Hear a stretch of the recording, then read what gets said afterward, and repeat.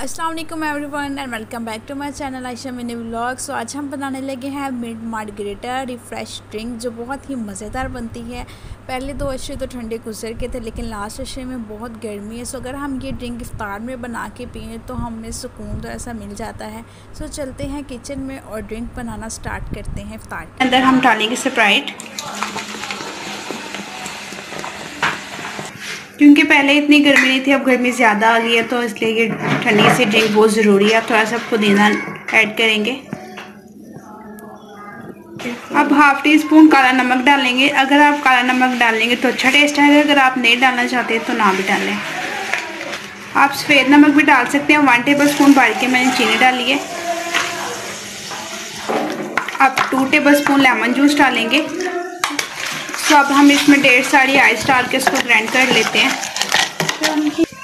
क्योंकि ये जितना ठंडा होगा, उतना मज़े का बनेगा। अब इसको हम ग्राइंड कर लेते हैं। और ये देखें ग्राइंड कर लिया मैंने कितना अच्छा सेम हम फ़ूड ऑन पे जाएँ तो हम सेम ऐसा पीते हैं और वैसा ही बने बाहर जैसा। अब हम इसको ग्लास में डालते हैं सर्व करने के लिए। सो गैस यहाँ पे देखिए बहुत ही मज़ेदार मार्गरेटा रेडी हो गया है। बहुत गर्मियों में हम ये ड्रिंक पिए तो क्या ही बात है एनर्जी मिल जाती है। एक तो हमें एनर्जी मिल जाती है। अब अफ्तारी का टाइम होगा तो ठंडा ठंडा पियेंगे तो मज़ा आ जाएगा।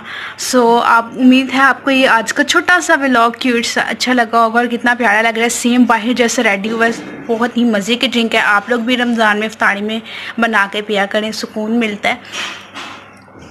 सो so, कमेंट्स में बताएगा कि आपको ये सॉफ्ट ड्रिंक कैसी लगी।